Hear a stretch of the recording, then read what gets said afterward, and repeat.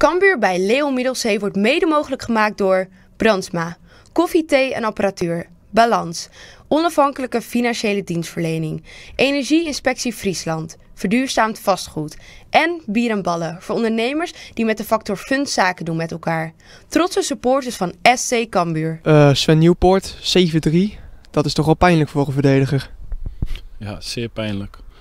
Uh, ja, zeven doelpunten tegenkrijgen, dat, dat mag niet. En uh, helemaal als je ziet wat voor doelpunten we tegenkrijgen. Dat zijn vooral, uh, ik denk dat vijf, zes goals eigen fouten zijn. En uh, ja, dat valt niet tegen op te voetballen. En denk je dat dat ook kwaliteitsverschil is? Of? Het is meer, we hebben een heel jong team en dat zie je in de keuzes die we soms maken. En soms iets te veel risico. En dat, ja, dat doen we op plekken waar het niet kan. En dan is meteen een doelpunt. Helemaal tegen zo'n volwassen Heerenveen als vandaag. Ja, want ze hadden toch wel een aantal uh, leuke spelers bij zich. Ook uh, talent Halilovic die toch meedeed. Is dat dan ook uh, moeilijker om dat te verdedigen als ze met een normale selectie aankomen? Nou, het is vooral heel moeilijk om te verdedigen als je zelf zulke fouten maakt. Dus uh, ja, dan voetbal je vooral tegen jezelf. En ehm, ja, ik denk dat je dat vanavond hebt kunnen zien.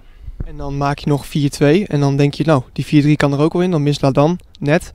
En uh, dan krijg je een aantal andere kansen. Bal je dan, denk je dan van, oh, het kan toch wel. En dan weer zo'n 5-3 om de 5-2 om de oren. Ja, tuurlijk baal je. De tweede was, was gelukkig beter van onze kant. En uh, ja, je hebt het alleen uh, de eerste 20 minuten geef je het al weg. En uh, dan kom je redelijk nog terug. En de tweede helft was denk ik wel een stukje beter. Alleen ook nog niet goed genoeg, vond ik.